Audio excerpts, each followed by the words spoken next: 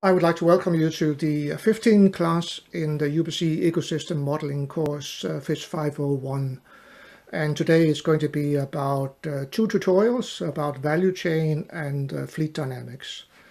And uh, I would like to start off by recognizing that UBC is at the Coast Salish territory and uh, like to acknowledge that uh, I'm talking to you from the traditional ancestral and unceded territories of the uh, Musqueam, Tsleil-Waututh, and Squamish peoples. And uh, I would also remind you that uh, recordings are available on the Face EcoPath YouTube channel and the Facebook page. And finally also that uh, there is a course website where you can find what's going to happen and lectures and tutorials and so on will be there. Uh, so uh, today we're gonna be working with value chains one more time, and let's see what we've got. And you should see on your on the left the Anchovy Bay model, and to my right the PDF with the tutorial. Is that what you see, guys? Yeah, it works fine. Okay.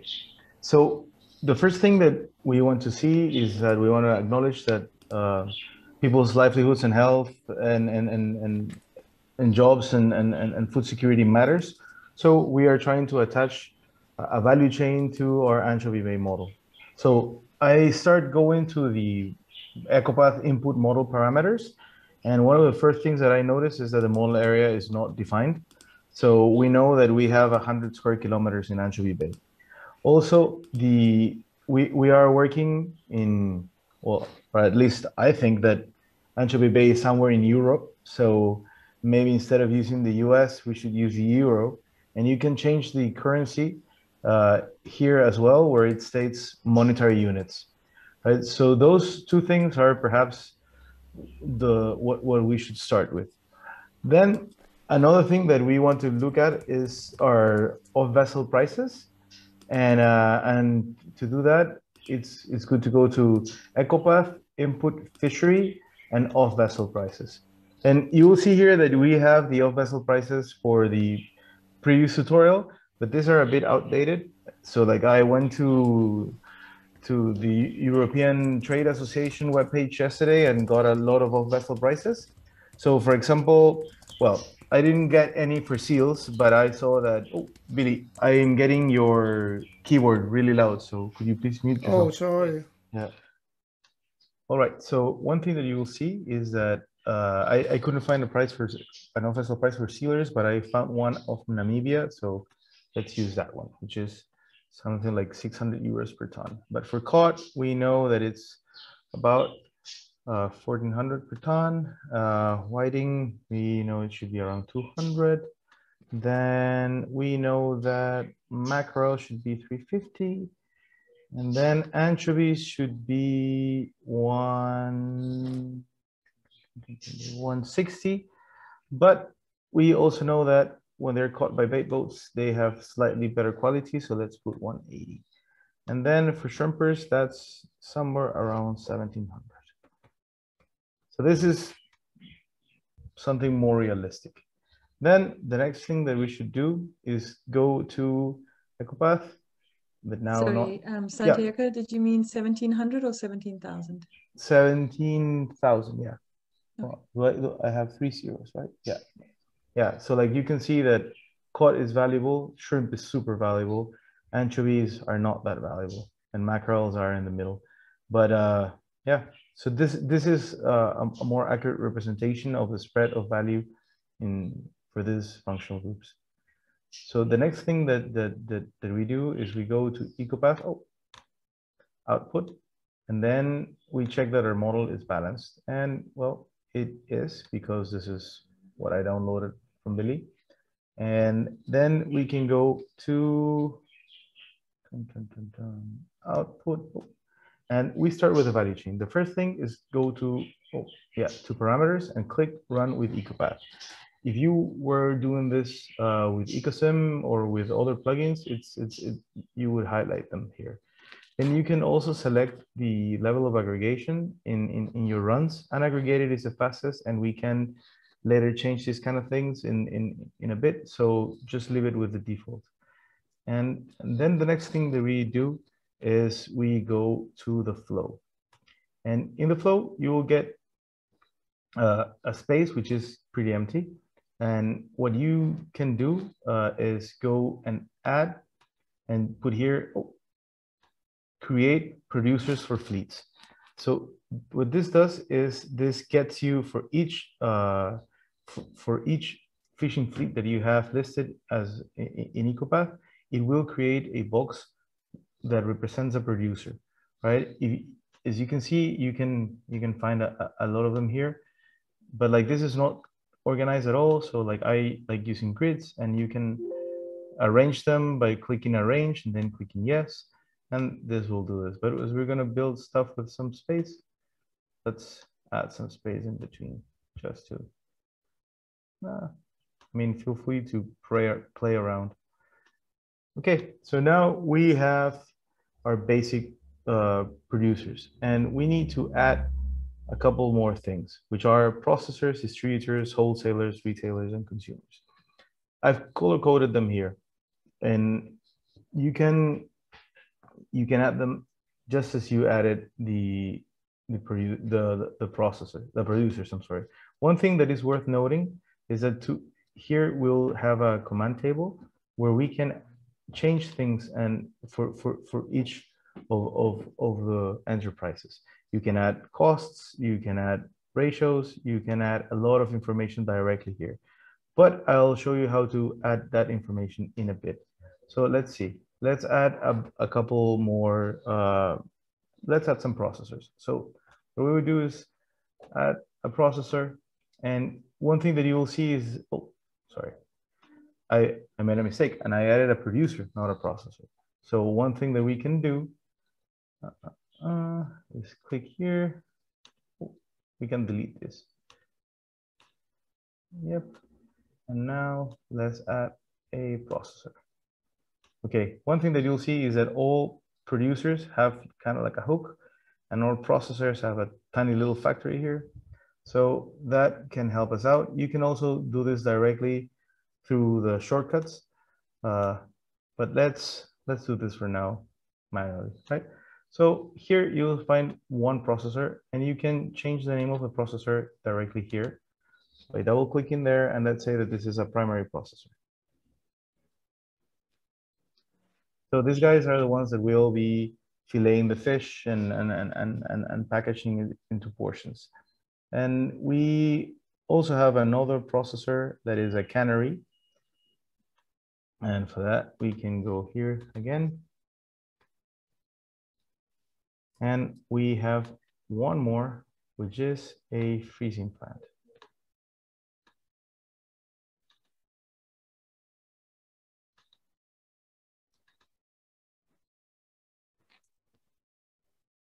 And finally, we have one for the pelts, which it's called the ABC, the Anchovy Bay company that works with pelts. Okay, so these are our processors. And now we need to add the different uh, distributors. So we do the same thing. Oh, we go and add distributors. And I know that we have three here. Please, if I'm going too fast or too slow, just let me know. I know that we have one that is called coolers.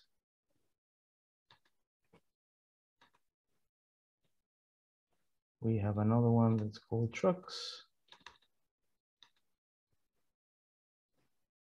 We've got another one that's called frozen trucks right?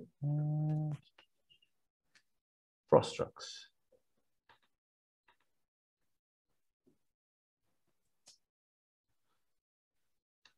Okay, and then let's see what else we've got.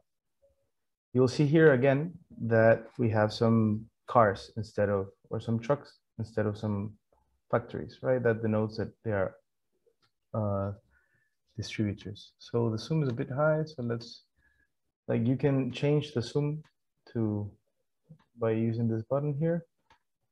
So now let's add some wholesalers.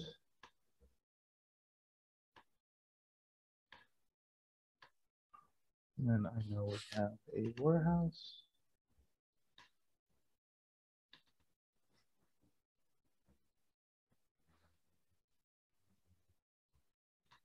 And the other one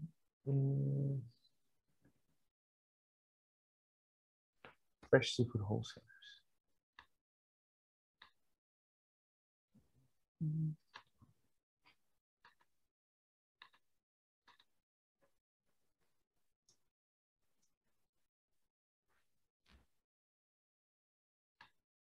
Okay, and then for retailers, we have three uh, again, which would be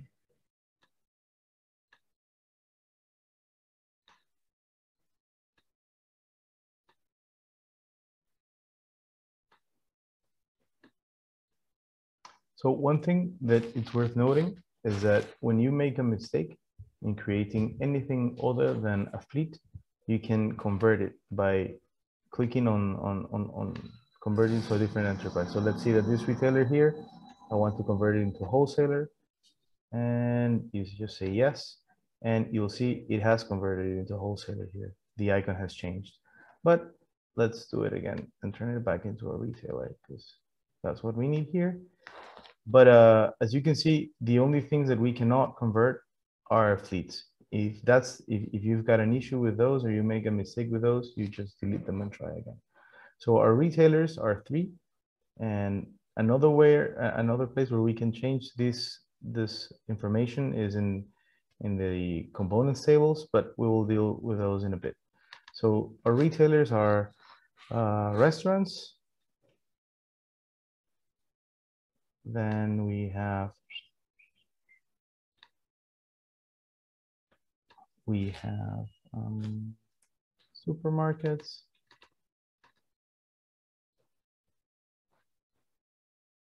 And we have fishmongers.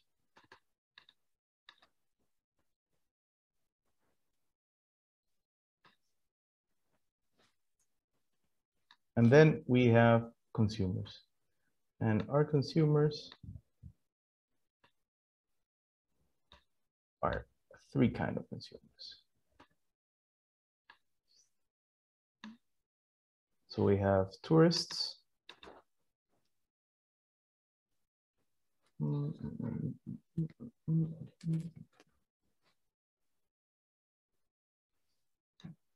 We have local consumers. Mm, I'm sorry for that sound over there. The cat is really lively today. And the final one is regional. Okay, as you can see, we've got a, quite a messy picture here. And we need to link these guys. And to do that, I like to arrange them as a flow where we keep at the same level the, the, the same kind of enterprises, right? So in here, distributors, we would keep them together pretty much around the same area and the different retailers, we would keep them together as well. And we could also do this with the consumers. Okay, so now we have to link these guys. As you can see, everything that is in purple uh, means that it's not properly linked. To link something, you need to first click move and then click link. But let's see what we're linking. So we know here that shrimpers, trollers, and seiners sell their catch to primary processors. So let's go. And with links, we go here to primary processor, because that's shrimper. Then we have trollers, and we have seiners. Sell their catch to primary processors. Then we have seiners and bait boats to canneries. So bait boats to canneries and seiners to canneries. And then we have trawlers to freezing plants and sealers to the ABC.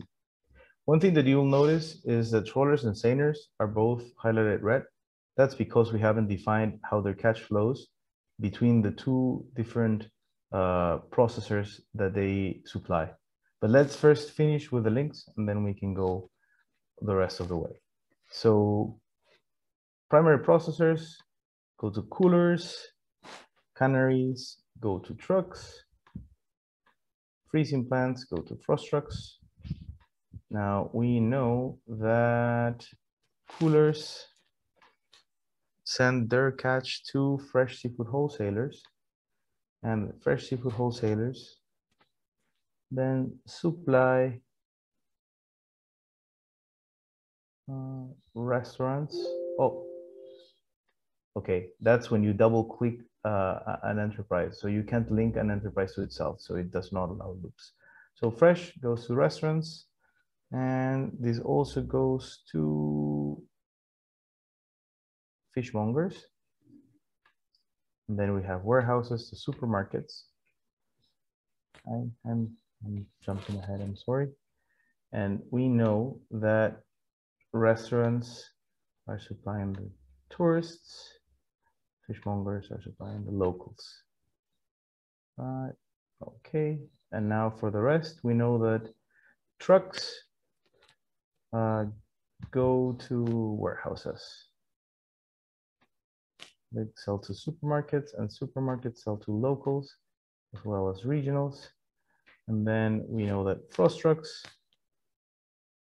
go to warehouses and that the ABC directly sells to regional consumers. Okay, so this is pretty much the flow of our value chain. As you can see, there's, it's quite messy and we can try to rearrange it to better suit our needs. But uh, there was one more bit here that the trucks are a company that does not purchase this, the, the, the canneries production. They charge a fee for the service of delivering the product to the warehouse that needs it. So they pretty much act like a broker here. So we can set that also here. Uh, when we go to trucks and we look at, let's see if it does it right. Okay, so here we will see broker and let's see if I can get a better center. Nope. So let's do that in the other place. Let's just go move again. And we'll see that in a bit, but here, when you click on broker, it gets you an option to say true or false we are setting that a true here for the trucks, right? I'm sorry this doesn't show well. We can also check information of these guys in components when we go to the different uh, enterprise types. Here we have produ producers, processors, wholesalers. If we click in any of those, we will see, for example, the different uh, processors, uh, producers here. These are the names of the fleets and the EcoPath fleet number corresponds here as you can see, all of them are, are not brokers. And here the biomass ratios are expressed as, uh, as how much goes from one to the next. We'll deal with that in a bit. But you can see that there's a bunch of different cost items and none of them are filled. And that is okay for now. But uh, when we go to the different distributors, you will see that trucks has been labeled as true as a broker here. The thing is, it is important when we deal with with with this kind of enterprises because broker is some is someone that does that does not uh, take risk in purchasing the seafood. I mean, they just place your seafood somewhere, right? And this is common in distribution, particularly for exports. When you are starting a new market and you want uh, to place some frozen tuna in an African country or, or, or an Asian country, and your company does not have a flow, you might hire uh, a broker to place that production elsewhere, right? But now let's go to, to how we actually describe what's happening between the flows, right? So one really cool thing that you can do here is that when you click on the, on the enterprise, you will get a lot of information here on this panel, right? But you can also click on the link.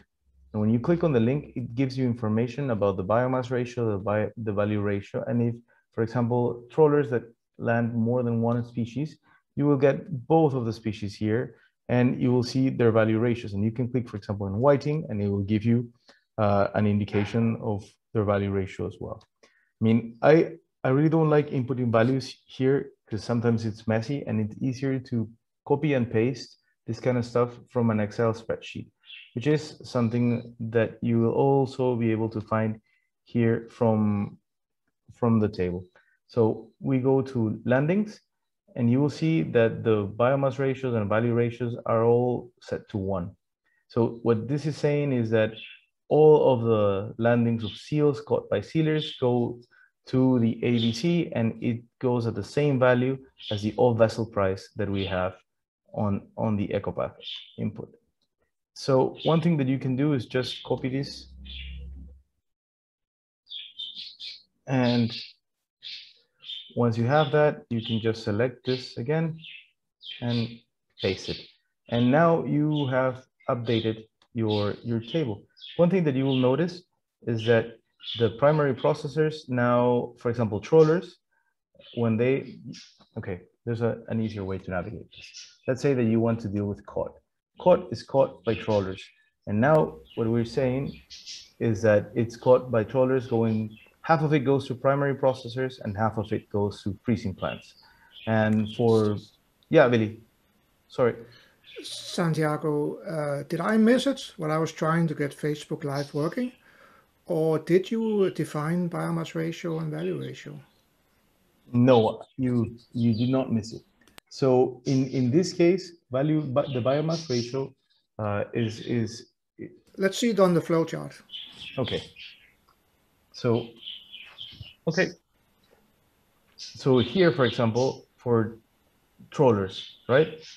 Trawlers, oh, I have lost my ability to click on things. Oh, good. I thought I could oh. confuse you. I could. Yes. Oh, thank you, Villy, as always. Okay, so what? Let's say here, seiners. Seiners are catching two things. Uh, they're catching mackerels and anchovy. But what we're telling the, the model here with the biomass ratio is that half of the of the mackerel landings go to primary processors. And you can see that there's another line here that goes to canneries. And we're telling the model that the other half of, of, of, of it goes to, to the canneries. And here you're applying a value ratio of 0.8. This value ratio is a multiplier that we are applying it to the value of inputs. So for the for this particular case, we are telling that when we're sending, um, let's say mackerel from seiners to the cannery, it will apply a value ratio of 0.8 that is multiplied to the off vessel price that we inputted here in off vessel price. So it will be 0.8 times 350. So in this way, we can parameterize uh, how different uh, enterprises will value the catch in a different way. So if you want, for example, the best quality of fish, you might be uh, inclined to pay more for it. So you can use those multipliers here. When we apply value ratios on the rest of the of, the system, so everything after the, the, the producers, this lets us know how much of the value is, is, is like how much of the what's increase in value of products in respect to the value of inputs. So if, if it increased seven times, we put a value ratio of seven. It's best to use actually the value per ton, but not we we we're not always have that information. But uh, let's let's let's look at the tutorial before I'm I continue running. One thing that you that that that we saw at the beginning uh, was that we had some some like both trawlers and and and and and seiners were were were colored, and and that is an issue that normally happens when we have not defined them. So let's say that we can grab a fleet like sealers. It will tell you everything that you need. It'll just summarize this here in the landings. So this this table uh, allows you to, to, to filter where you are sending your flows from the processor, from the producers to the processors. In here, we have trawlers, trawlers catch cod and whiting, and they send half of it to primary processors and half of it to freezing plants. If we have an issue here, let's say that we purposely put a one here and a 1.5 and we go back to the flow, it will it, it will highlight it and it will show us that we've made a mistake, that there is too much fish that is being sent somewhere rather than, than so like we're exceeding our, our, our, our, flow, right? And, and, and this is kind of like a, a, an alert that we have to keep track of. So let's go back here and we were dealing with trawlers and we know that this is again 0.5. So, so far we have information on, on who are the, pro, the, the, the, the processors and the structure of the chain and where the fish goes as it moves across the chain. We have the values of the, of, of, of the off-vessel prices, and we have some basic understanding of the value ratios for each species as it goes from one place to the next. This is enough to run the value chain. This is pretty basic. This is just a skeleton of a chain. So if you want to do that, you can go to run value chain. And again, here I've selected unaggregated and we just go run ecopath. And it will tell you how many tons we have in the different places. So this is, again, everything that goes to producers is sent to processing, that is sent to distribution, and it then goes to wholesaler and then goes to retail in tons. This makes little sense here. And this should be a, a, a should pop up in your face. We expect that as we move from producers to retailers, we should have a decreasing amount of biomass, less tons, right? As, as we lose uh, products based on like, for example, if you're, if you're canning tuna, we will see the guts and the heads and the, that, that, that are discarded, right? Or used for fish meal production, but they will not move to the next stage of distribution, right? So this, why this is happening is because when we look at our flow, oh, and one thing that we can do here, which is another interesting thing, we can put show flow. And when we, we can interpret this through here. And what we're seeing is that many are, are many groups are recombining what they're, what they're selling back to distribute to, to, to, oh, I'm sorry. So why do we have more fish in the wholesalers? Because we are sending all the catch that is going from different groups to the distributors back to the wholesalers. So there's no loss here. Another thing that we can see is that we have value and the value, the product value is, is, is, is increasing as we go through the chain, but there's more value in production than in processing. And then there's more value in wholesale. Another thing that we, we can, can track is the revenue because we don't have any costs and we can track as how the revenue is increasing and what's the difference between the total revenue and the revenue that comes from producers. This difference is the multiplier, right? So here's pretty much, we have uh, six for every one that we do in on, land. So like this is a, is, is a big multiplier for this value chain. Here, again, we only have costs for processing onwards because the only cost that is allocated is the cost of buying the fish and we don't have any information about jobs or dependents or anything of that sort. But it's this is this is how like we start looking at the different value chains. And one thing that we can do again is also search by enterprise. So like for example we can look at each individual enterprise just by looking at what where they are at and what they're contributing. So if we had costs and, and, and profit, we, we, we, we can know what's the total utility for a particular wholesaler, right? And, and this is, for example, we consumers don't add anything to the chain. They're just there to, to, to, to feed on your value chain, right? But you have everything here. And you can also run this uh, aggregated by fleet, for example.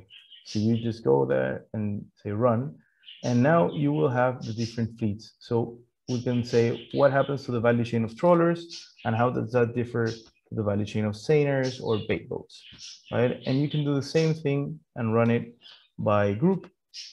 And what we'll see is that we have what's the contribution of seals to the anchovy bay economy versus what's the contribution of shrimp, right? Big numbers, where they're at. And that's how we trace things. But now let's add a little bit more realism to the thing. And we can add that by adding some information about the, the, the different flows from the processors onwards. So on the Excel spreadsheet, on the second tab, you'll have links. And what you can do is just select the links and copy the biomass ratio all the way here. We go to components, go to links, and we just paste them. Now we have some information about these things. And when we run it, we can go back and run the chain. So with this, our numbers have changed a lot. And now we have information, we, we, we can see again that there's less production that ends up going to the retailer and that would probably go to the consumer. We, we have an issue with the wholesalers because we still are moving a lot of product here. But there are a couple of things that we should keep in mind here. For example, when we go to processors, you will see here there's a biomass ratio for each processor. For example, for the canneries, the biomass ratio is 0.5. That means that out of 100% of inputs, only half of it comes out as fish.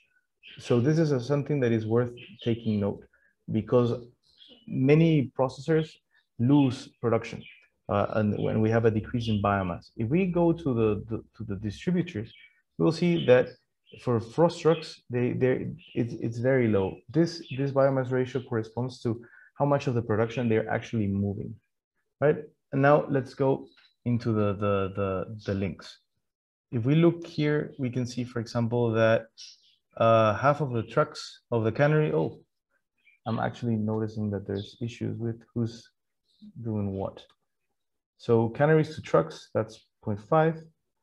But ABC to regional, this is 0.15. Oh, this is where the magic happens. So again, I was not careful. And when I was uh, copy pasting my, my table, I did not pay attention of what I was copying where. So let's, let's do this. Okay, so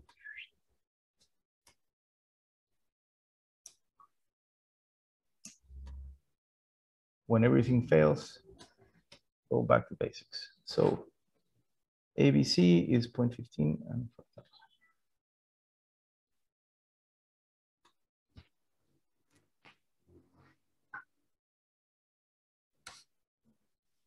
coolers to, uh, to trucks, 45, coolers to fresh fish. Um,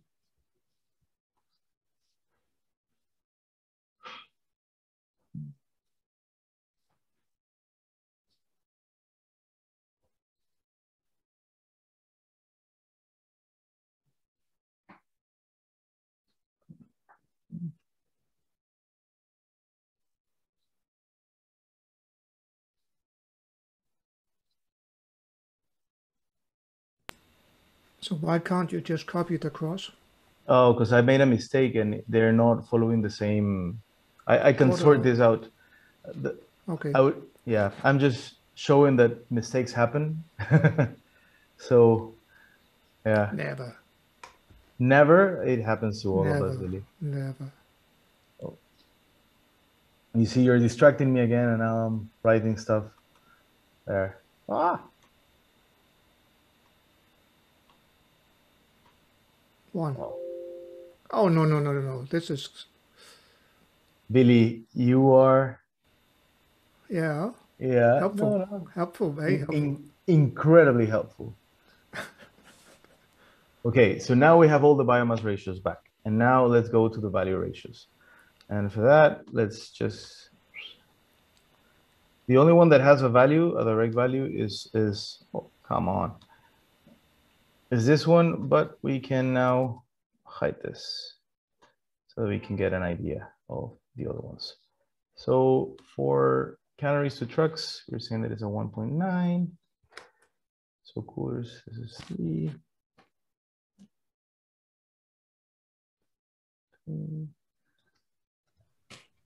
Santiago, I think you added a zero to the value per ton for the ABC regional compared to what You- you had on your spreadsheet. Thank you for catching that. Yeah, and uh, mm, right. I've made a mistake again. Mhm.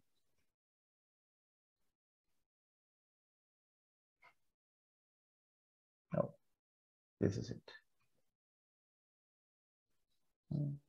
Let's see, from primary processors to coolers, one point, oh, I've made a ton of mistakes. Okay, one more time. One point nine, coolers, is three, fishmongers is five, freezing plants to sauce trucks, two point three, primary processors, oh, fresh fish to fishmongers is two, that's one.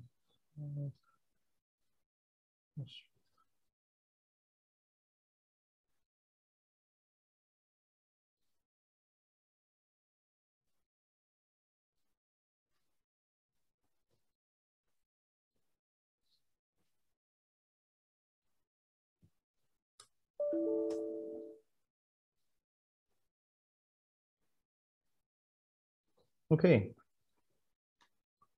So now we have some numbers here. Let's run the value chain again.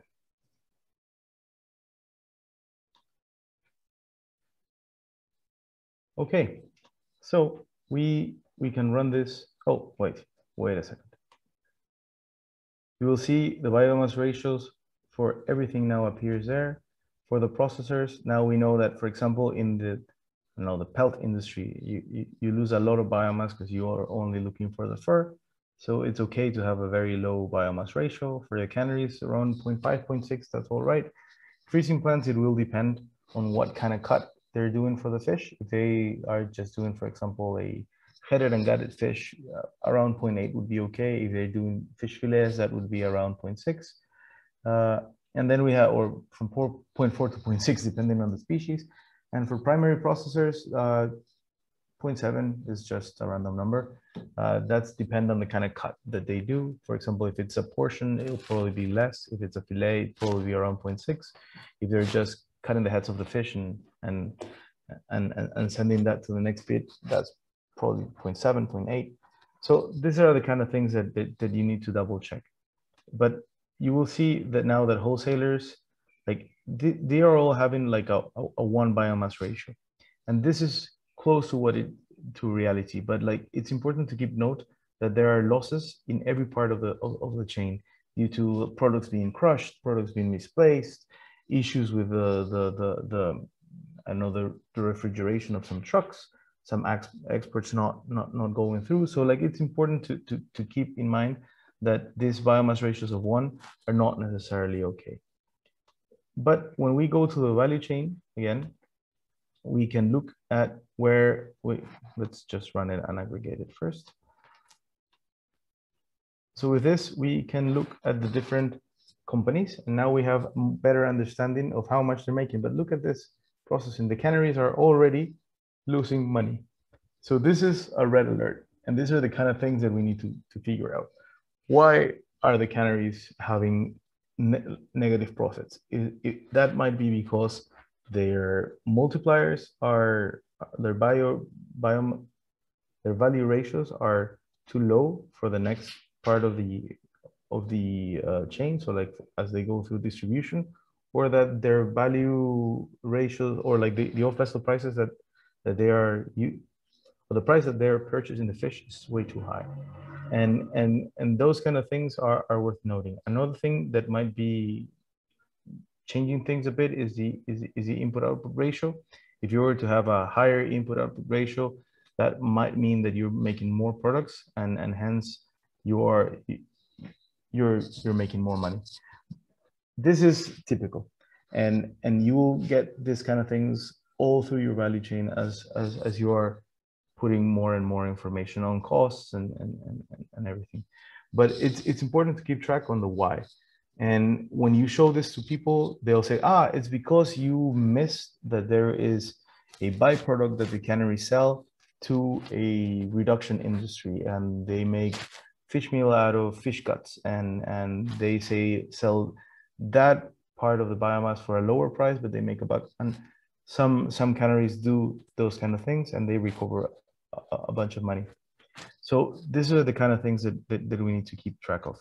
If you look at the at the, at the value chain tutorial you'll also see that there is a bit of a cost structure for some of the groups, uh, particularly for the for the producers. So like we can input those too, and just to keep track. So it's four, one, three, four, five. Yeah. Oh, let's see. Ah, so I made a mess here again. So four, one, three. Let's copy it in bits. Oh, what did I do?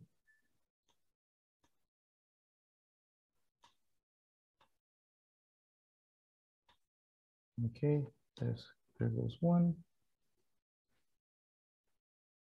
And then we have oh, it was okay.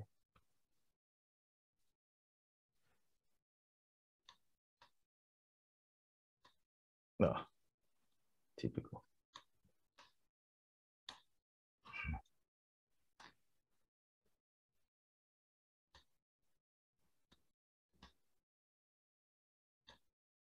Okay, so now what have we done here? We've added some costs for some, some, some information on the cost structure of the different producers. So you'll see the first thing that they have, seiners and trawlers have an energy subsidy of $1 per ton. That's a huge thing. Uh, and this will reduce their, their, their, their fuel costs, which, which, as you can see here, their energy costs tend to be the highest costs that they'll, the highest item in their cost structure. Uh, you will see that I have um, included a male and female worker share. So they are not being, the, the way I'm, I'm, I'm, I'm paying them is not through a fixed amount, but rather a percentage of the profits. Uh, then we have information on the capital costs. So this means that for a bait boat, uh, each ton, like for each ton of fish that is caught, they spent $5 in terms of capital investment. Again, this is way too high for energy costs, we we have ten dollar per ton. Like if, if, this was the case, this this fishery wouldn't last long. Uh, and and and then we we have monitoring costs. And for example, here we have some some some fleets that have some monitoring going on, and that the coverage is hundred percent. You can tweak this so that it's 0.8 of all of the whole fleet, and and and and you can switch things a bit all the way back here, you'll see that we have not included any taxes here because uh, Anchovy Bay is completely against taxing their, their, their fleets. And then we have some information here on the number of female workers and male workers. And we have, for example, here that we have 0.5 uh, people per ton that are employed in, in what is this, in the seiners, but at the same time that it's 0.01 women per ton. So this is the way that you can incorporate some some some differences in terms of of, of, of, of gender, and you can also tweak a bit the prices or the, the the, the the salaries that they would be getting or the shares. So let's say that this is a classical uh, sexist industry and they pay 10 for each 15 that they pay a, a, a, a male worker right? So these are the kind of things that we, that, that we can start including here. And when we run the value chain, we will get now a lot more information for the producers. Let's write, let's run this by feet uh, to get this straight away, right? So for example, if we look at sealers, now we know that sealers are losing money because something of our cost structure does not fit uh, they their costs are way too high or the value of the of the of the fur is not high enough. But we know uh, how many jobs it creates. It takes just one person here according to our structure. Uh, for trawlers we're employing 58 men. And for seiners we're employing two women and 80 men. And and we can get an idea of the average salaries which here would be 101 euros per year which again this is this is very uh, and. Uh, and we can get information about everything that goes through the chain. Again, I, I've noticed here that we have negative profits in the processing. And if we go to the, um, if we run this as an aggregated thing, and we look at the canneries, the canneries are the ones that are screwing up with our system. So we have now negative profits in the canneries and negative profits in the in, the sealers, right? So so now let's go to the to the landings here. Let's say that the sealers are paying the price that we've got, but when we are shipping the this to the next thing, this value per ton is is is very little. So let's say that it's now 50. What will that do? We run the value chain again. And let's go to ABC. Now ABC does not make a negative profit, but what about sealers? Sealers are still making negative profits. Why? That might be because their cost structure is way too high. So let's say that their monitoring costs are too high. Let's say that they're 0.5 and uh, their capital cost is one because they only need like clubs. So now what happens when we change those prices? And we again. Santiago, are you changing the value for, for anchovy bay? This is based on years of research. Of course, I know. But the kind of things that we will see is that, it, again, it's, it's important to play around with things and see which components of the cost income structure have an impact. So you can start going and tweaking and tweaking things until it makes sense. And this is kind of like the thing that we will do with with uh, with stakeholders when we meet with them.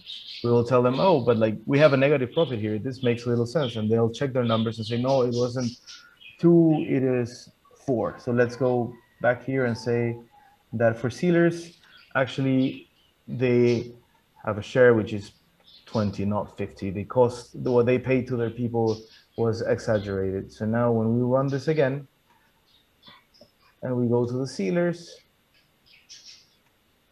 they are making money, right? They're, they're, they have positive profits. So these are the kind of like iterations that we need to go through. And it's okay that we that we get weird numbers along the way because it's it's it's part of, of what we do. I suggest that you try this on, on, on your own and and and see if you if you spot differences every time you add more data and what kind of difference they're getting. Again, this is incredibly simple. Uh, and the more data you have, the more you can ground your, your, your model into something serious. But Anchovy Bay is very, very malleable for all of our interests. So for the time being, I think we're kind of okay. Do you guys have any questions?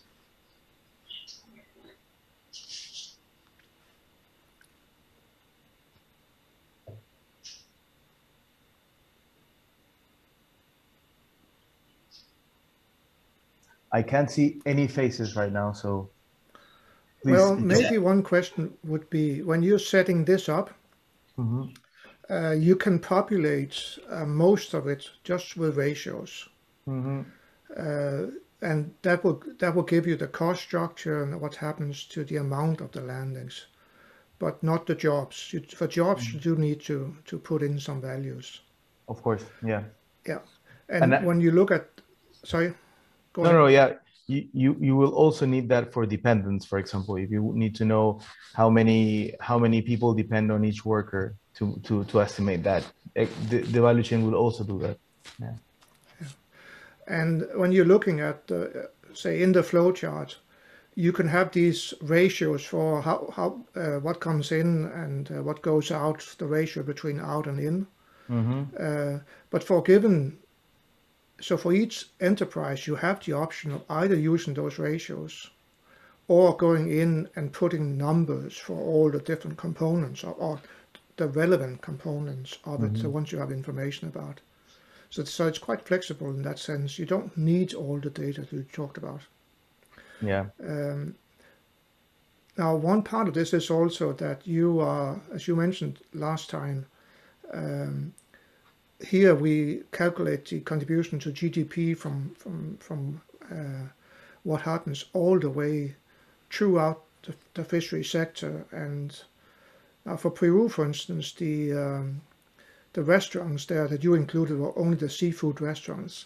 Mhm. But um, how do you, for for things like a seafood restaurant, figure out what's the contribution of seafood compared to? I mean, they sell a dish, and this has lots of different things in it.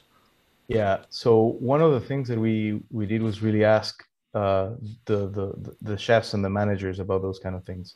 And for example, if if it's uh, let's say if it's a ceviche, ceviches are was one of the most common ways we could sell fish in Peru, and it is just fish that is cut into cubes, and you add some limes and some chili and some onions and maybe I don't know some veggies, and that we would ask what's the how much of, of, of each component is the cost?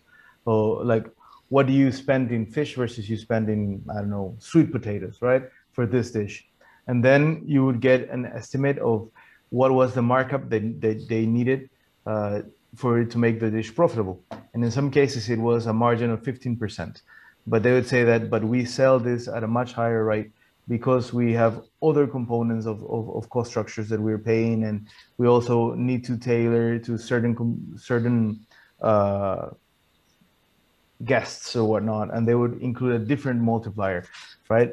But yeah you can separate what bit of it goes by detailing what what are the components of the costs. And let's say like the creativity or the the the, the chef's capacity to to to to or like its report I don't know. That is not included directly. Yeah, it's just uh, the, what, what multiplies to the, the the the fish, and like that is, for example, the reason why we couldn't trace a lot of the the fish in restaurants that weren't seafood restaurants. So, like for example, we have uh, lots of Asian restaurants in Peru, and some are sushi bars, and those we can track. But if you are selling um, Szechuan food, uh, and some dishes use fish, we, we, we didn't really know what what what component of the profits came from selling fish. So we only focus on restaurants whose whole uh, system was, was was was was was seafood related. So yeah, our restaurant contribution might be underestimated. I don't know if I answered that, Villy, properly. That's, uh, you explained that well, yeah. Marta? Yeah, thank you, Santiago. Very interesting to see how, how it works for real. I just had a question, a generic question. If uh, for some of these links, you know that the process is there, but you don't know the exact numbers, what would you suggest us to do? Would you suggest us to guess something? Or would you suggest us to leave it out? What is the, the best way to approach the uncertainty in this case? So, for example, if you have some stuff that you have no information about, I would leave that in like open. Like for example, taxes, right? We if there is a if you have no information about how the country is taxing that industry, maybe you don't add information there. If you have similar systems in, in, in similar countries that have similar policies, maybe you can tra transfer some values. But like for example, certain fish species will like if the technology is similar, they will have similar input output ratios. Like for for let's say for, for canning tuna, right? It's highly unlikely that you will have a, a, an input output ratio for the canning process that exceeds 0.6, right? It, it, in some cases, it might be up to 0.66, but it's weird that it'll go above that, right? So that kind of things you can check by looking at, at, at um, the specifications of some lines of production and, and, and, and, and like even like the machines that canneries use to can the food will have some some specifications of that sort. So a lot of it is just understanding the process behind it, right?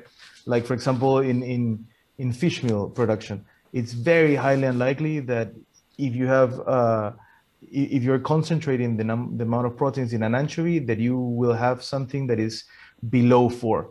If you have something below 3.8, you've exceeded the amount of protein in the anchovy. So like there are some some some some bottom and, and, and top controllers that you can add. But there's a lot of information about this, but it's just not the kind of information that fishery scientists have like available. Or like if we were thinking about ecology, we're not thinking about like the input output ratio of a freezing plant, right? So it it it just takes some time to get adjusted uh, and and and seeing where this information is coming. But interviews are easy to to to go through this.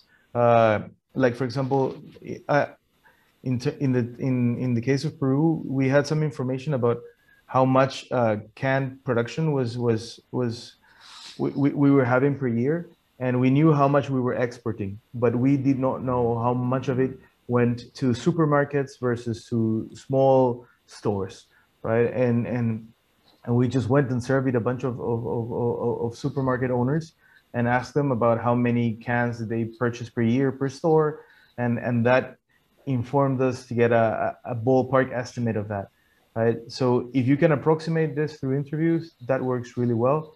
If not, you can approximate from information that happens elsewhere. But like, I'm not sure if like the Norwegian input output ratios for a particular product would be equivalent to the Brazilian ones if you have like completely different lines of production, right? If in one, if it's labor intensive versus the other is technology intensive, right? So we have to be aware of, of, of the kind of transfers that we're doing between those values. Thank you. Yeah, no, that makes a lot of sense. So you have some expectations and then some things that probably don't travel well with between mm. systems. Do you have uh, any um, online database or um, yeah, open source uh, um, source of information that you that you sometimes use that you can share with us? So I like for for Peru, I do have a lot of information because uh, I've been mining the government data sets for quite some time. Uh, but uh, for for other countries, uh, I, I don't have a lot of, of information for the input output ratios. But uh, recently, I, I, I, found out that FAO has this uh, project called UFish, which gives you information about the the um, edible yield of certain fish species. So that is is is, is something that, that that that can help a bit. And like you you shouldn't expect to get uh, an a, yield that exceeds that for for example some fresh fish, right?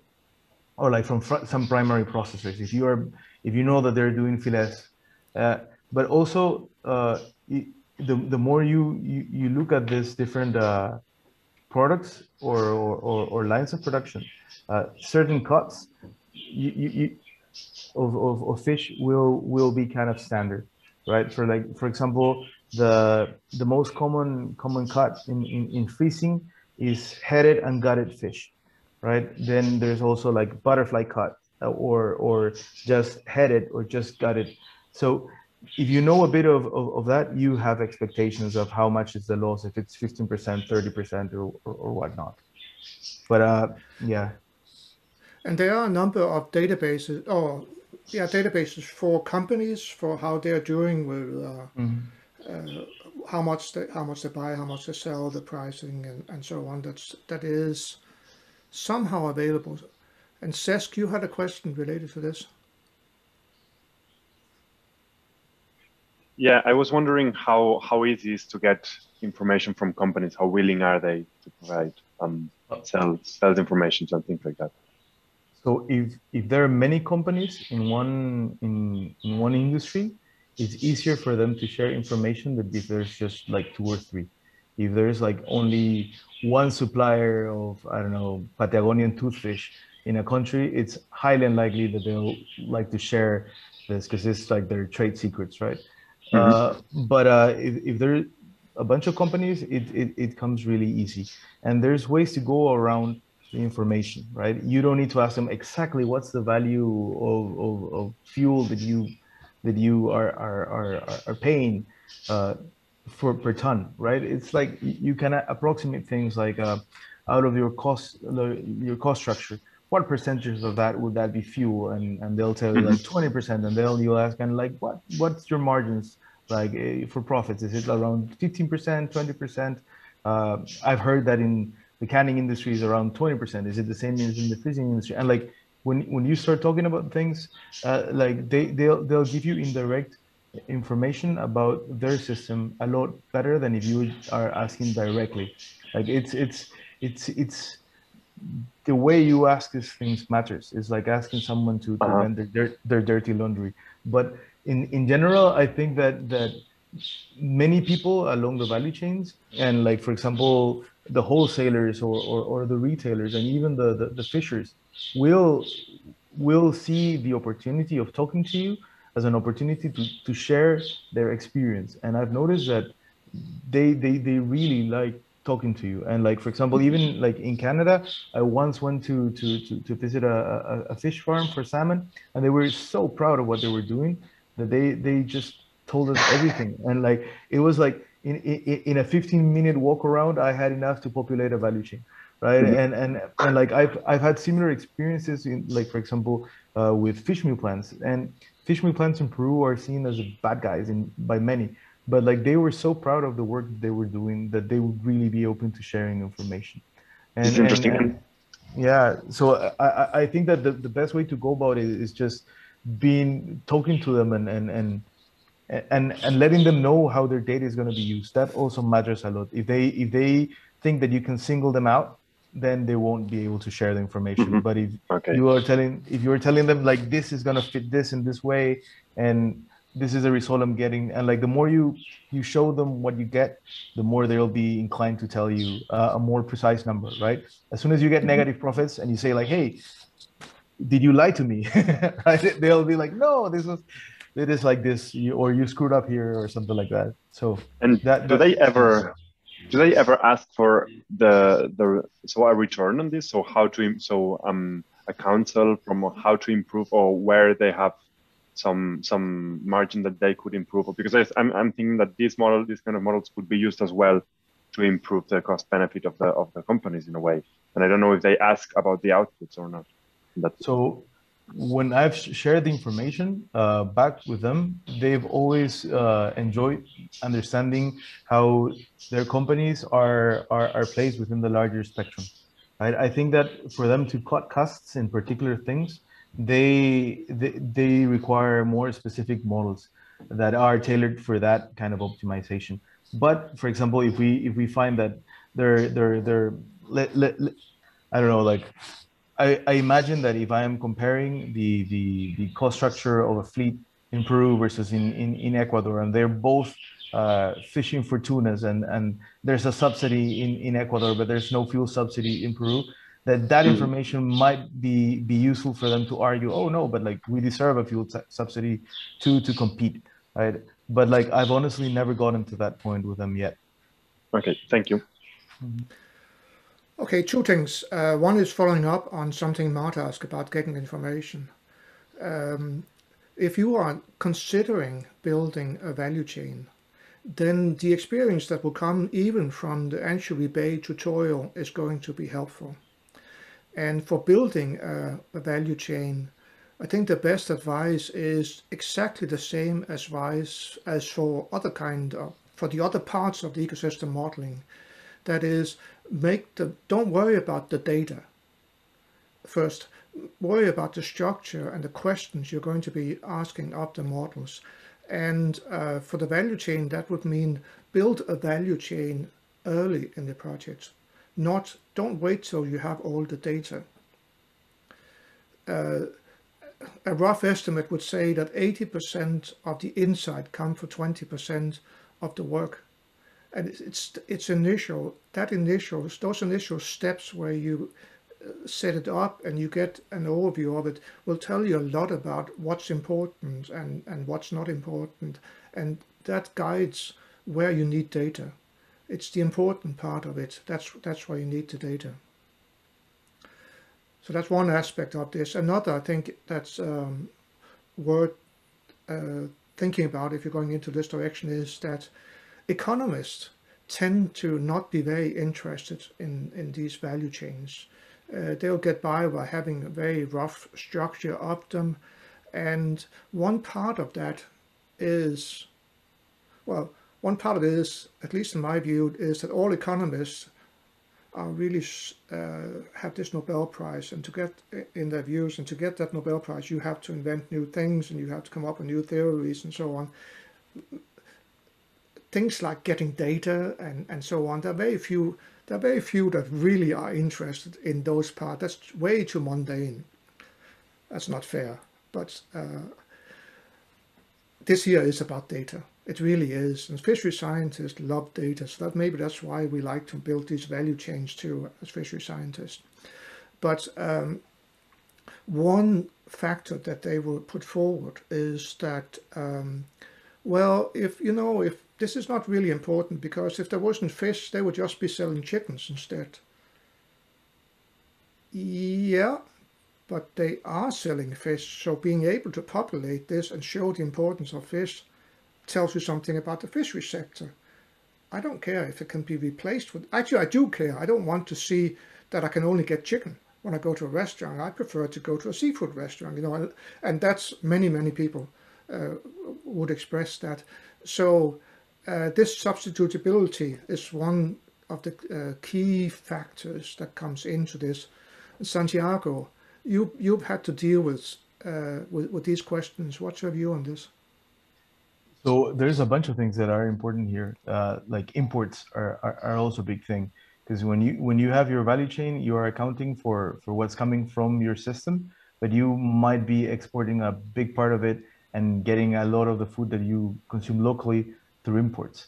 So what's the importance of having imports here? But like honestly, uh, there's so much that you can learn by actually following the chain that that whenever you're running a multiplier, which is what economists tend to do, they'll, they'll say that okay, the, the multiplier for Peru is 2.9, and and like for every ton of fish that you land, you'll make for every dollar that you make, you'll make 2.9 throughout the system. And like if you look at the the I don't know the the animal husbandry industry for chickens, and like the multiplier is 2.77. So like okay, it's it, it makes sense that there there's people that are making a profit in, in, in, in, in the seafood sector, right?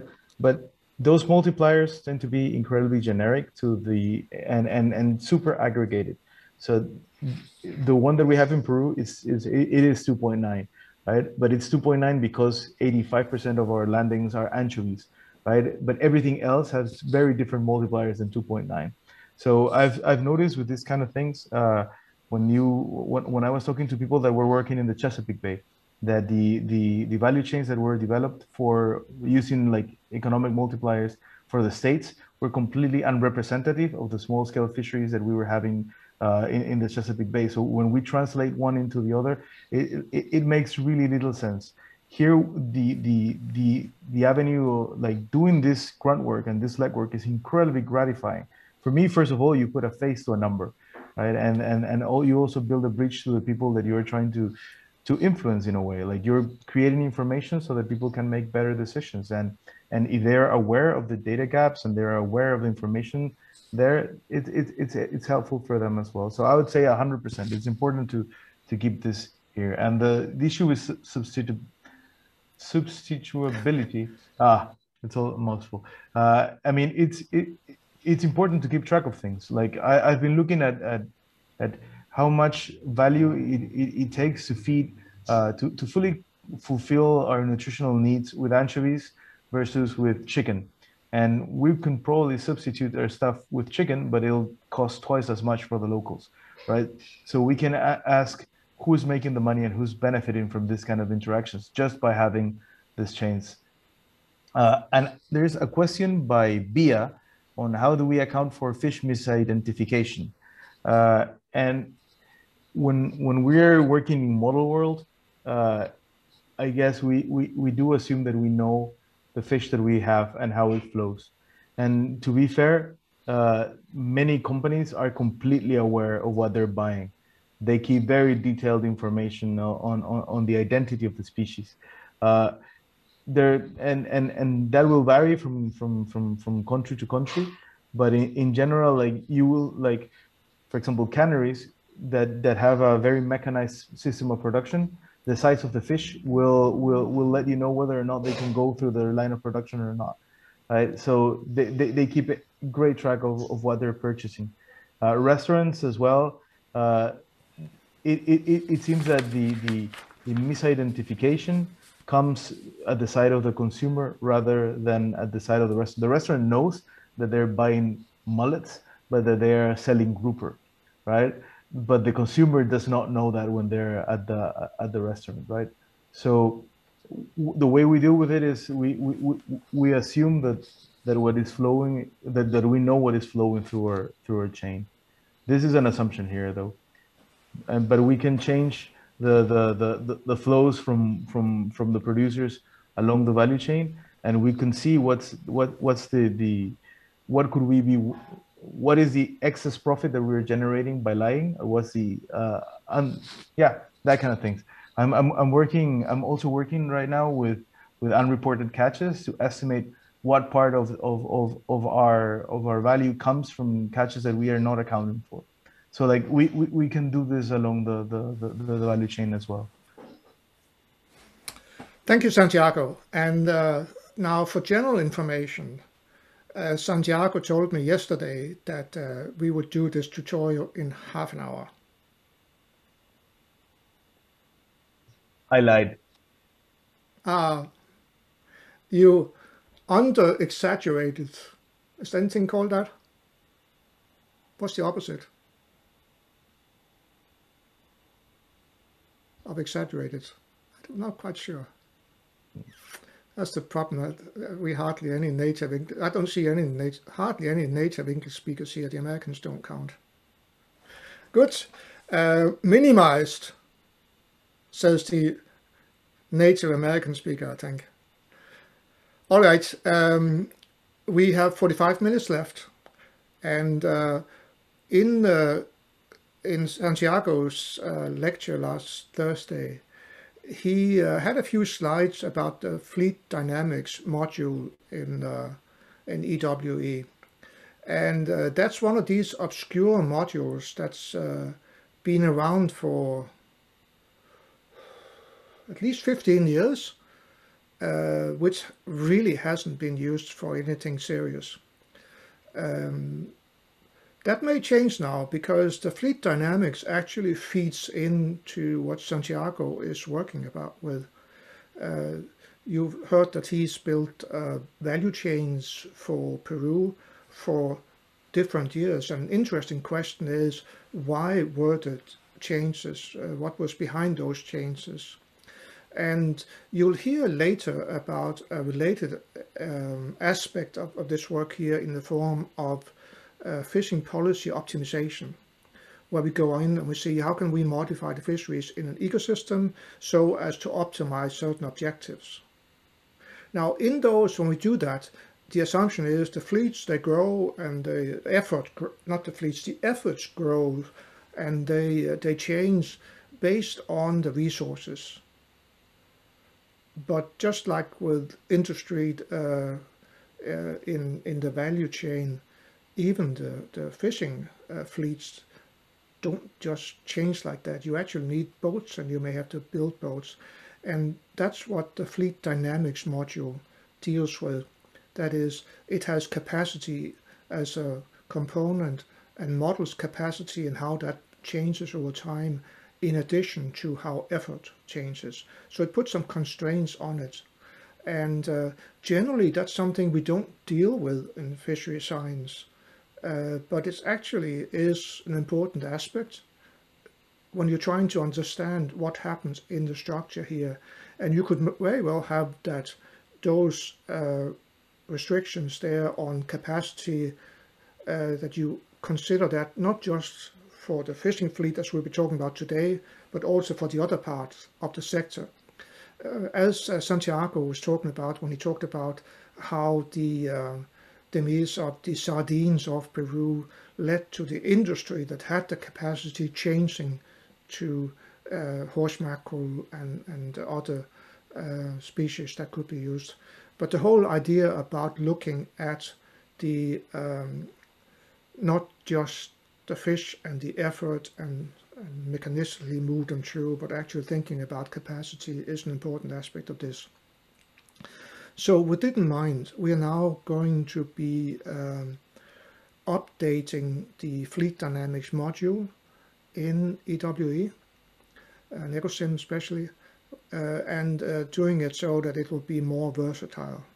I prepared a tutorial that is on the website which interestingly enough uh, is called tutorial 9 even though it's tutorial 10 so that's a good start isn't it uh, but um, the tutorial there is uh, is pretty long and we won't be able to get through that in in the half hour or so that we have So what I'm intending to do instead is to open up uh, the best ecosystem model there is uh, and um, look and demonstrate to you how we work with the fleet dynamics module. And then uh, I will encourage you to go through the uh, tutorial on your own. It will make you think about something that goes beyond just the pure uh, biology, ecology, species interactions that we generally are dealing with, just like the value chain added perspective from any uh, this uh, thinking about the, the, capacity in the fleets and, and the consequences of changes in capacity is useful. So um, what I would like you to do, Santiago, oh, mm -hmm. I like, like giving orders here, is we're going to go and open up EcoSim. Okay. Any scenario will do. All right. We Do that from up there, yeah. And in EcoSim, you go and you go straight to output. Oh. And you run EcoSim because we want to know what's in the model. And this looks like a fine unfitted model. So let's go and have a look at vulnerabilities. Ecopath in oh. EcoSim input vulnerabilities. Oh. oh, okay, here we go. Yes. No, that's fine because we are just going to use it with default and that's what I suggest for a tutorial because then we won't have any questions about, oh, I'm getting uh, 6.4, but I'm getting 3.6. Why is there a difference? This way here, it's, it's more likely to be the same. All right, uh, that's about it. Let's go and run EcoSim. Again, go back to run EcoSim. Don't have to run it, but let's click show multiple runs. Then let's go and look at effort, fishing effort.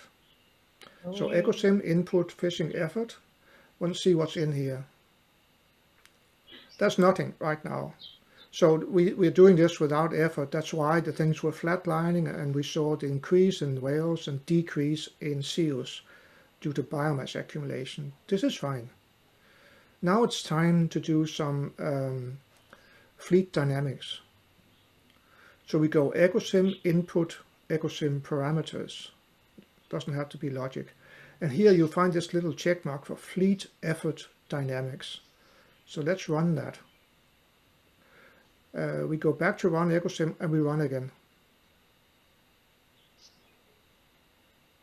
Very different. Actually, uh, can you just get rid of show multiple runs and run it once more? You saw it was very different. You go up now to uh, click show multiple runs again. So we, so we keep it. So let's see what it has done. You see, it's a uh, well, actually, we could have compared, but, but you remember from before how whales, how much they increased, and now, of course, you see they're not increasing very much anymore. And the reason for that is that we are fishing their prey. So, so they come to equilibrium much earlier now than they did before. And the prey could, for instance, be anchovy, uh, click that one. That one goes down. Mackerel is another one they're eating. You see, this is the big reason is mackerel goes down quite a lot. So uh, let's go and see what has done the, the, fleet dynamics module now, just by going to fishing effort, input fishing effort. Now I want to see the, uh, not, yeah, oh, actually we could, um, so here we see that they continued fishing seals throughout uh, because nobody's telling them to stop the, the calling. Uh, the big change here is bait boats, number four, and number five, shrimpers. So we are fishing a lot of baits and we are fishing a lot of shrimpers. It looks like, at least from this, um, that there's a big increase in, in these boats.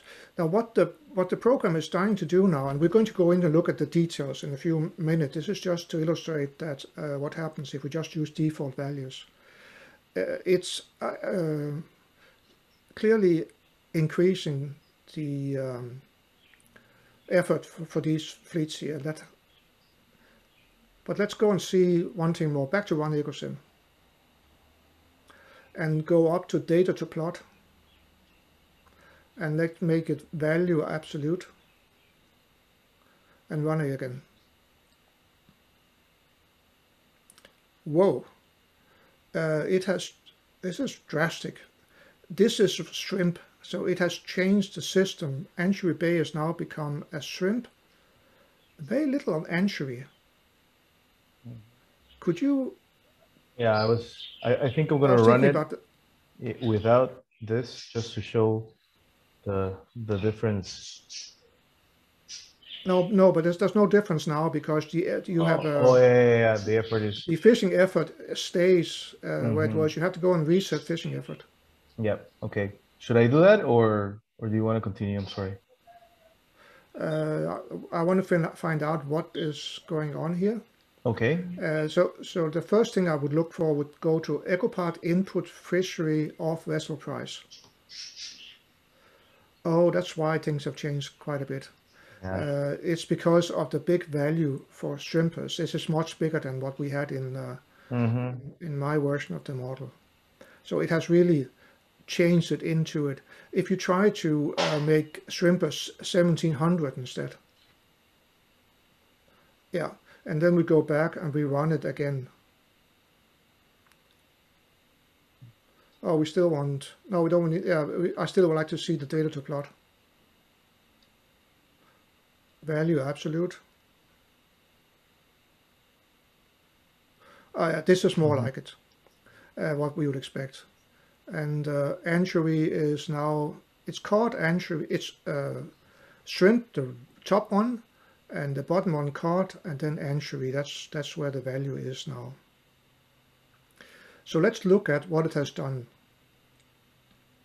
why it has done this. We can go to uh, over on EcoSim input, fleet size dynamics. Now, the fleet dynamics module is described in the user's guide, and in the tutorial, you will find that description slightly updated. Um, and we will over the next weeks here uh, improve also on what you see here. There, there are some some limitations to to this, but um, we have um, some factors here. The first uh, effort response power. Uh, it's a function that says something about how um, how the fishing fleets, individual boats, how good they are at picking up what happens and, and making investments. So the higher this is, the um, is it the more equal or is it the opposite? Just the higher this is, the more equal uh, things would be. So they would, the fleet will react uh, more, um, invest at the same time, do the same things. The next one, initial effort um, divided by capital capacity. That is a factor that says something about what happens in in our baseline, in our when we start the Ecopath model, we start EcoSim. So in the baseline situation, we have an effort, but we uh, but what is the capacity? How much would it be able to expand at that point? So our default here is 0.5, which means we will be able to double effort without building new boats. You'll see what the impact is of that. The next capital depreciation rate is uh, 6%. It's typically is in that range, 4 to 10%. percent And 6% means that uh, what it be something like uh, 15, 20 years uh, when you have assets that they last for 15 or 20 years. Um, or when you have investments, it's, it's this kind of number, 6% depreciation every year. And then the, the last one here, 20%, that's how much uh, capital growth there can be from one year to the next. So these, uh, these are the parameters that everything here is, is based on.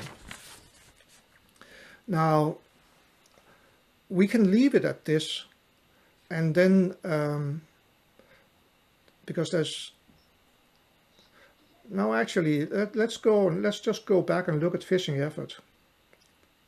I'll give you one example. So when you look at this, for instance, the bait boats, you can see there that in, in a matter of uh, 16 years, they have built up to seven times. If we go back to uh, the um, fleet size dynamics, and we can take that capital, uh, initial capital growth rate for seiners and for bait boats, that's the two that fish anchovy, and uh, we could bring that down to 0.05 or something like that. So now can only 5% investment per year and the one above it as well. They can max grow with 5% per year. And we just do another run.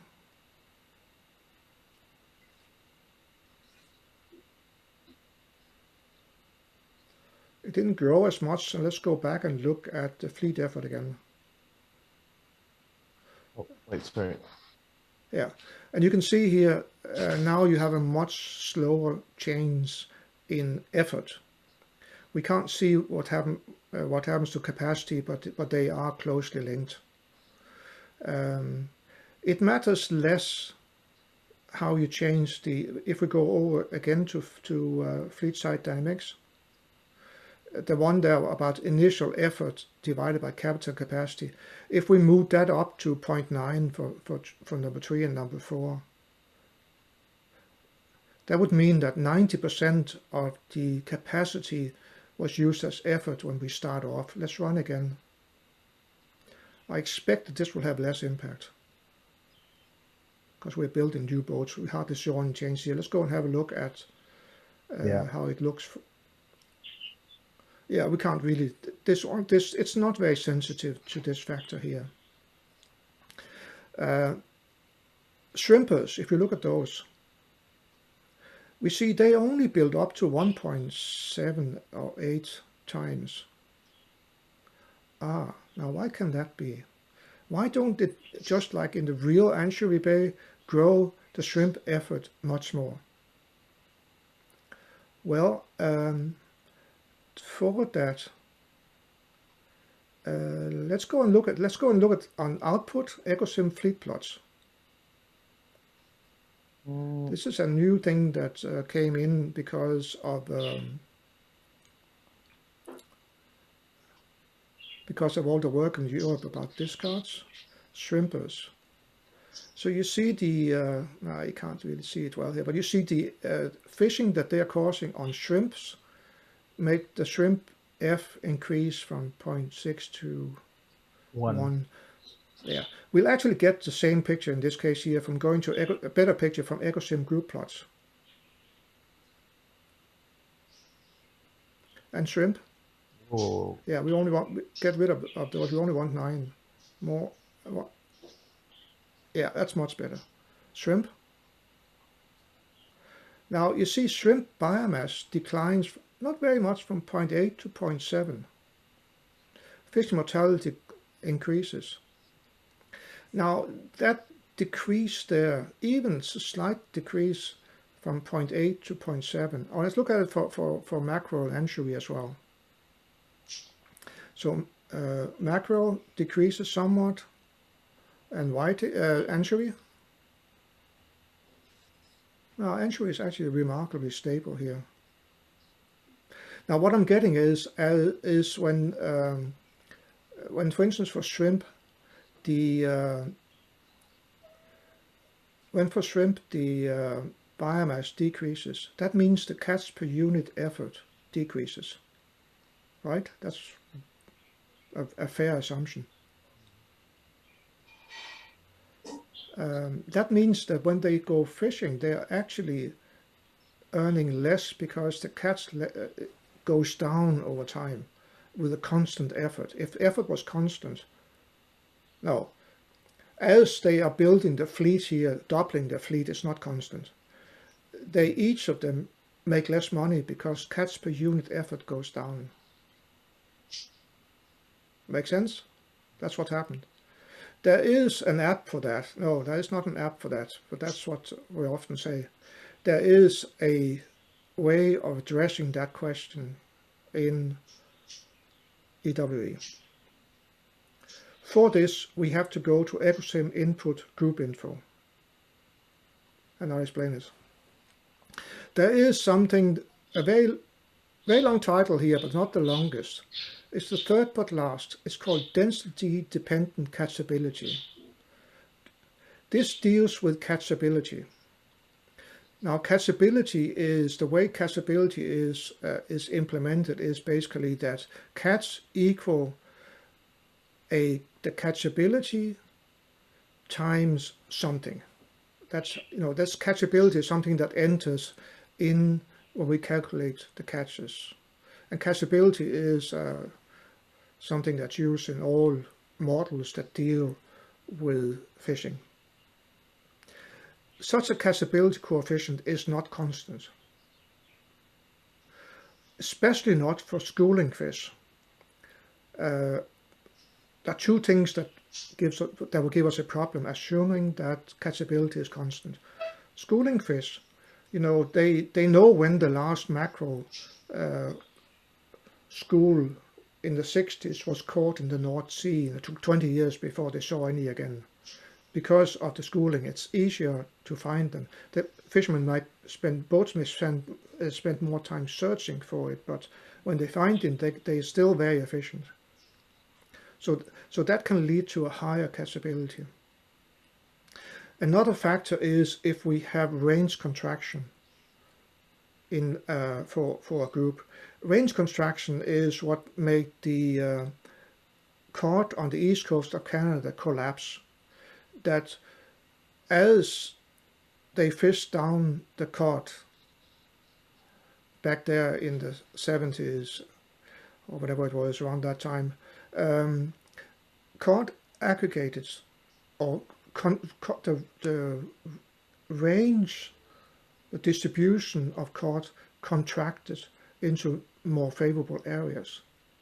And that meant the fishermen still saw a big catch per unit effort, even as the total abundance of um, cod decreased. There was a more favorable habitats that were uh, occupied. So fishermen could find them. If you look just as catch per unit of effort, it remained high until it collapsed. This factor here is really important for fleet size dynamics and for models in general. We haven't talked about it. But um, when you have range contraction, when you have schooling fish, this is a factor that is important. So we can see what the effect is of this if we, uh, for instance, for anchovy and mackerel and uh, let's try shrimp to put in there uh, five. So high, uh, yeah. That one, that one, and so, yeah, that's it. So now we're saying that catchability will remain high as the biomass go down. So what's the consequence of this?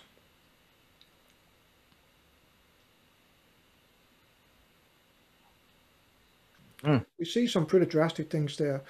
Let's make the uh, let's make it the go back to default value for fleet size dynamics.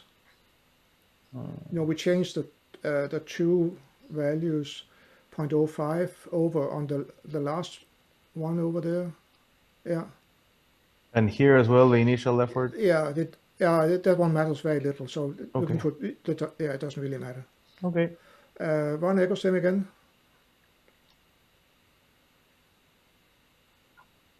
Hmm. See, now we're getting into, oh, there are good years and bad years for, for shrimp populations.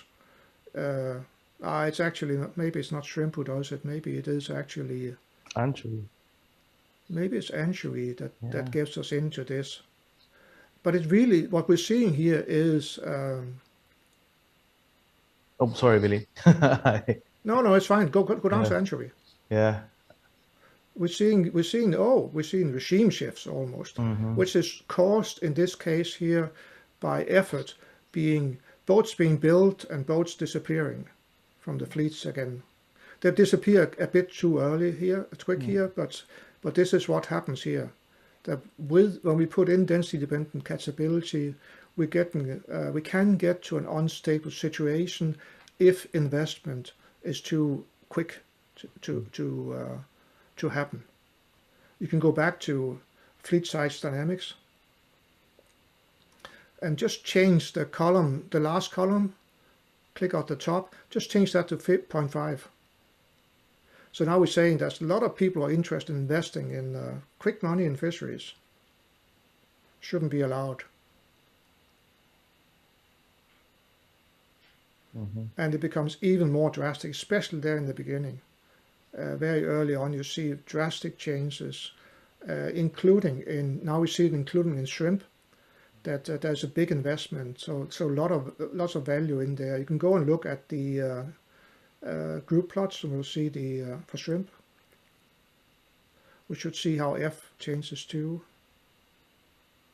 Well, catch actually becomes pretty stable. Biomass go down to half. Uh, let's, let's have a look at mackerel and anchovy.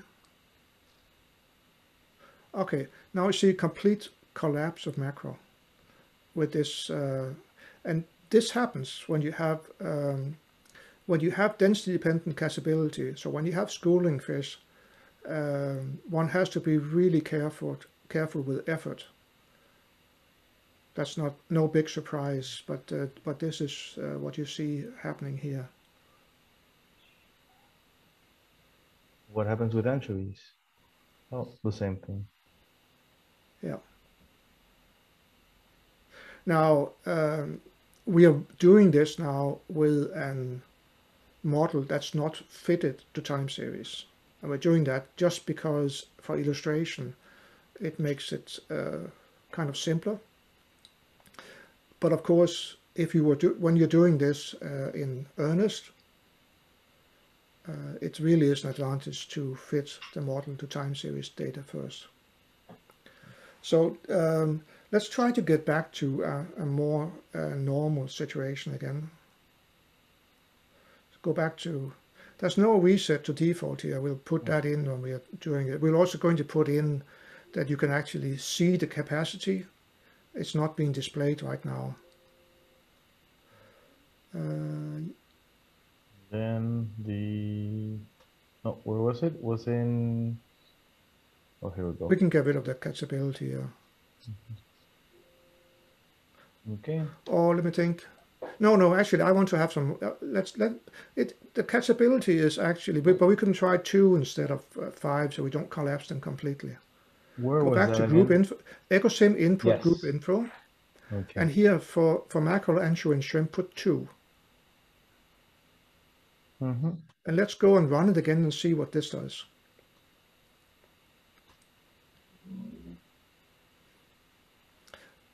Yeah, and then let's look at the change data to plot to uh, to relative biomass. There we are, it's there already.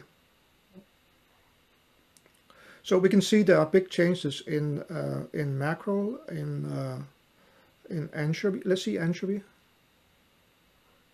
Oh, initially it increases, and then it decreases. It's because the mackerel goes Uh, really down. Yeah. Mhm.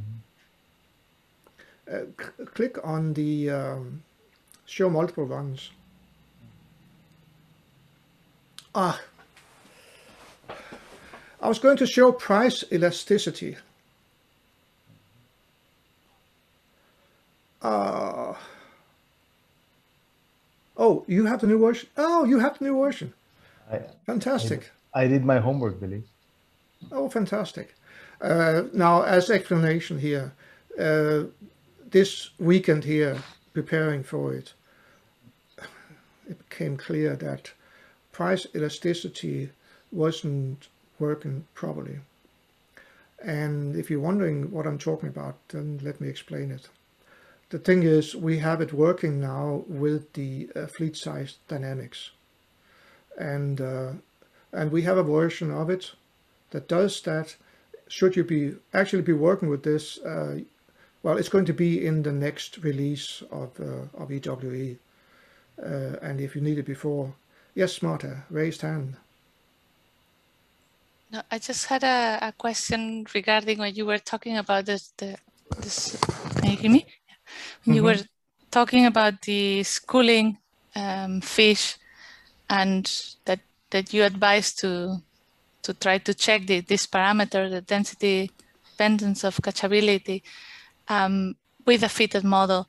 Would you would you use it? You would you fit your model and then use it, or would you use it taking that parameter into account to see if you would fit it better?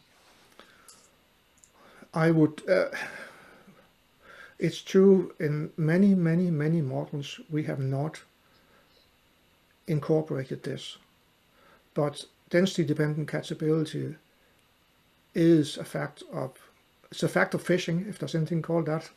Uh, it should be considered. Um, and it would impact what the, the vulnerability setting for sure. We've, What- what we've often be the been able to get by without it. Yeah. Say? What would be the best way to include it? Would you fit it without and then fit it with and compare? um, put in a modest one, maybe like this. And then uh, the, the problem with this is you have to explain it. When, once, you, once we go in here, we have to explain it, and and we're going to have reviewers coming and harassing us afterwards. That's one reason why in many fits we haven't done it, even though we know that uh, it's it ought to be considered for, for schooling fish, and for fish where range contraction is a major issue. Can you estimate um, density Oh. dependent catchability from time series data? we don't have it in a way of estimating it, no. And uh, in principle, you could, yes, you could uh, run the model um, and just like we do, um, just like we when if we could we could include it on the fit to time series as a third axis. It complicates the model quite a bit. But yeah, no, it could go into those equations there. So a plugin could do this, or we could change the fit to time series. It's just something we haven't it's never been the right opportunity, which is the right opportunity is when someone knock knock knocks and says, "Oh, we really need to fix this. We need to do something about it," and be, and is willing to work on it. Uh, that's that's what it, that's what it calls for. So um, Villy, just one, one, one question. What, what are like good ballpark estimates? Is like two moderate, five extreme? What about a 10? Like, what are we 10 talking 10 about here? we're talking about the range two, three, four, five. That's a good range for, for, for this cat. Uh, it it matters as soon as it gets it's, it's an exponent that comes into it, and it, it matters what it is. So yeah, two is uh, two is uh, is not extreme. Five or ten is much is definitely is extreme. Yeah, more than five times as much. So um, Price elasticity? Yeah, we, mentioning this is uh, uh, talking about density density dependent catchability is important. Um, I have two things left I want to talk about. and We have five minutes left, so let's just quickly take, take price elasticity. The the the thing behind this is that uh, as supply changes, demand supply changes, it may well be that the price changes too. So let's go to add. This here is just like how we make uh, mediation functions and, and environmental preference functions. Do you, okay. Uh, now, uh, could you just uh, shape by hand, just to make it quick? I'm giving a in tutorial something more. If you go uh, change shape, no, no, no, no, no, stop, stop. Oh, you can do it. Okay, uh, Yeah. say cancel. I want to have that it's the lower it is, the higher. Go down, So like that? something like this. Yeah. So see, what we're doing now is we're saying that um, when supply goes down, prices go up. That's because um, that's because anchovy is of course being used for bait, and there's only that ma- many bait there are many traps in anchovy bait that needs bait. and it's being used for putting pizzas on the restaurants uh, or anchovy on the on the, on the pizzas. So this here is the Ecopath baseline that Santiago is working with now Where do you want it? somewhere. Yeah, that's fine. Just drop it there. So now it's saying higher price, higher supply, lower prices, lower supply, higher prices. And you go define supply. Uh, and here you take anchovy, the two places where you have anchovy, and you move them to the right. So now we define that it's anchovy that is the x-axis here. And y-axis is the price. Okay. So uh, y-axis is how much it changes the off-vessel price. So this is what's going to happen. As the supply of anchovy changes, the off-vessel price is going to be changing too. We have a, a step, next step, which is uh, seems unnecessary, but we have to do it right now. Apply price elasticity, and here you find anchovy, the two places for anchovy, and you just move it over. Take the shape on the left, yeah, and do the same for the next one. Now we can run Ecosim. So now we define this function and we've applied it twice. And do you want it to go as in value ju- or No, no, no, let's just leave it. okay?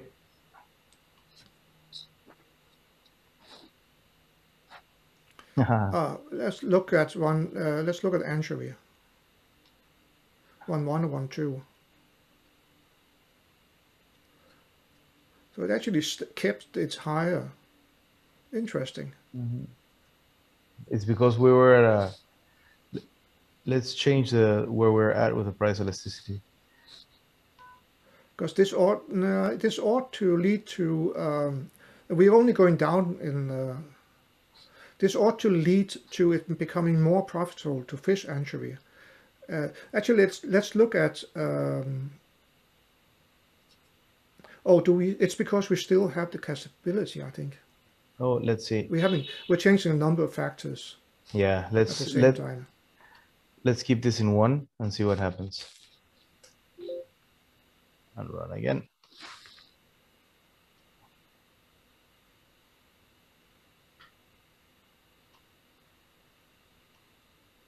No, not much. No. Not quite sure what's going on here. Anyway, in the version you have, uh, the price elasticity does not work. Not you, uh, Santiago, the rest of you, doesn't work with uh, with this fleet dynamics. Uh, just one thing more I want to mention before uh, we finish for today, and that is the calculations in here.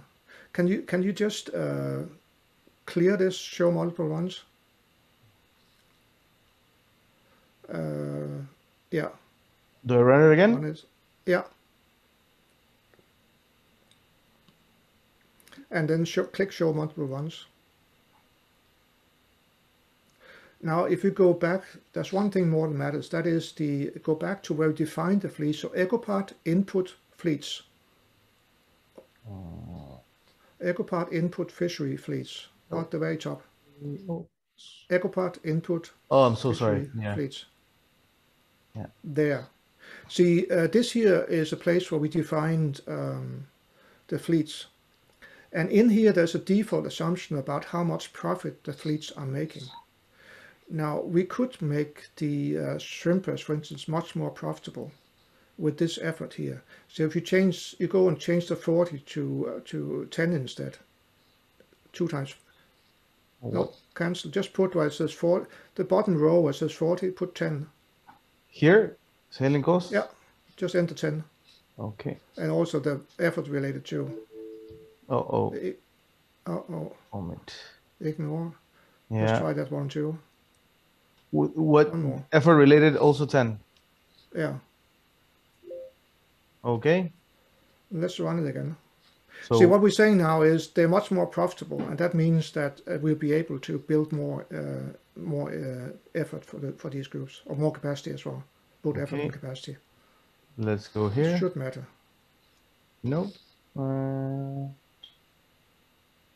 boom, boom, boom.